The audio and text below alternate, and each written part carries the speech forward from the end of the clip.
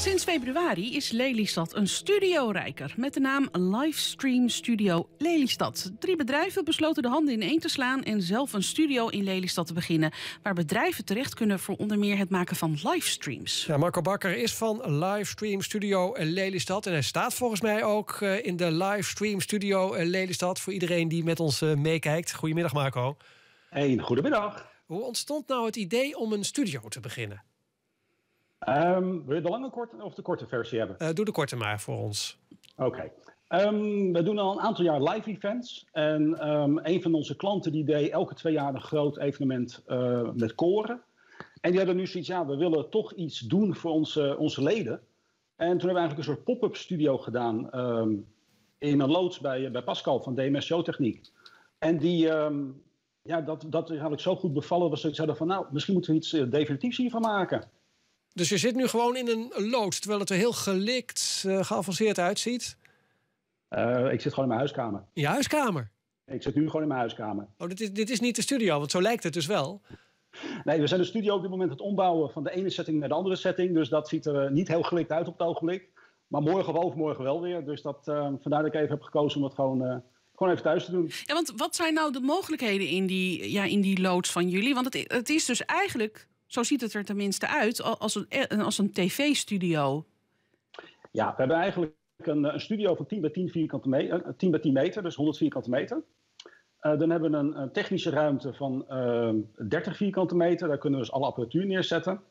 En we hebben een green room waar de, de klanten als ze zitten te wachten of uh, aan het voorbereiden zijn, gewoon even hun werk kunnen doen. En um, ja, het is een, een black box uh, met een hoop licht erin. Uh, er staat een ledwall, er staat een podium, er staat een, uh, we kunnen decor erin zetten. Um, we doen daar videomapping onder andere.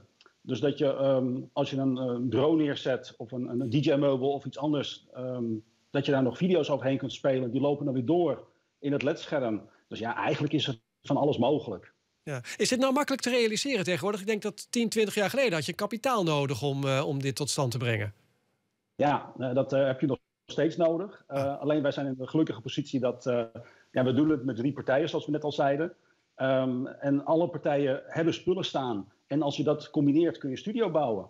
En dan ben je gewoon um, ja, in staat om um, ja, er gewoon net zo mooi uit te zien als wat je echt op televisie ziet. ja, geen probleem. bijvoorbeeld, wat ik net al zei, Pascal van DMS Showtechniek, die heeft ja, een licht- en geluidsvuurbedrijf. Die doet grote evenementen in en om Flevoland. Um, Rogier van uh, Rookproducties, die is een, een, lichtman en die doet de videomapping. Ja, wij zijn van Videpro en uh, wij doen niks anders dan eigenlijk livestreams door het hele land heen. En nu, nu ook in ons eigen studio. Nou, nou zoeken wij heel erg naar lichtpuntjes in deze coronatijd. Is jullie studio nou een lichtpuntje in coronatijd? Omdat ja, er is natuurlijk enorme vraag naar uh, ruimtes waar je kunt gaan livestreamen. En dat het er ook nog mooi uitziet.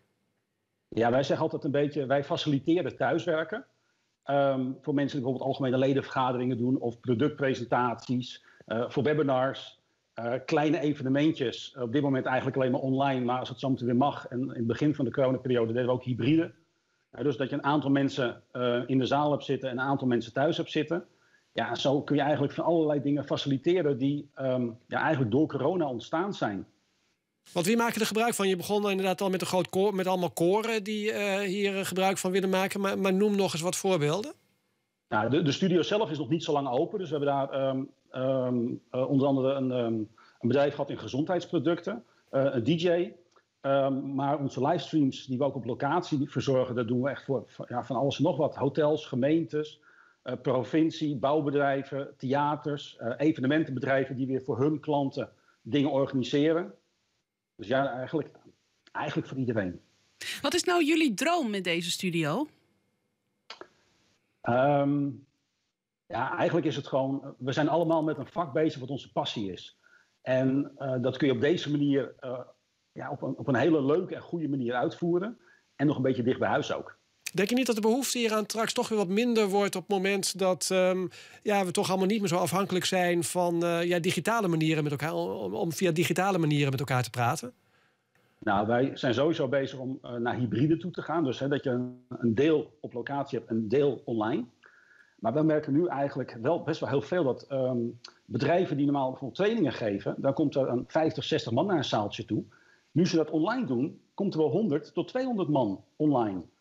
En die zijn toch wel een beetje aan het denken van, hmm, wat is er nou handiger? Moeten we nou een zaaltje huren? Dat heeft best een hoop voet in de aarde. Of gaan we het via livestream doen? Dus ik denk dat het wel blijft bestaan. Dat mensen er ondertussen aan gewend zijn. En ook de voordelen er wel van, aan, van zien. Dus wat, wat, te reizen. Wat vroeger een zaaltje was, dat wordt in de toekomst een studio. Ja, of een kleiner zaaltje, waardoor je een deel mensen die toch willen, eh, één op één willen zitten, daar naartoe komen. En een deel van de mensen die dat gewoon online gaan doen. Ja. Hoe is dat nou gegaan? Want jullie beginnen dan in februari met, eh, met, met deze opzet en, deze studio. Ehm, maar dan weten klanten jullie dus al best wel snel te vinden. Hoe hebben jullie dat aangepakt? Um, nou ja, we draaien al langer met livestreams. Dat is eigenlijk al vanaf het uh, begin dat de, de, corona is begonnen. En we krijgen regelmatig de vraag: ja, we willen wel een livestream doen, maar we hebben geen ruimte daarvoor. Nou kun je, zoals je ziet, gewoon in een redelijk kleine ruimte kun je best wel wat leuks maken als je er maar even wat aandacht aan besteedt. Maar zo is op een gegeven moment zoiets van, nou ja, laten we een studio uh, gaan neerzetten. Dan de mensen die dan op zoek zijn naar een locatie, die kunnen dan in de studio. Maar we hebben ook zat bedrijven die zeggen van, um, we hebben een mooi kantoorpand. Daar zijn onze medewerkers nog niet eens geweest. Dus in de livestream willen we juist het kantoorpand laten zien. Zodat ze een beetje weten waar ze na de corona weer terugkomen. Ja, zo zijn jullie dus heel flexibel en heel mobiel. Um, Marco Bakker van Livestream Studio Lelystad. Het ziet er prachtig uit allemaal. Heel erg bedankt voor je tijd.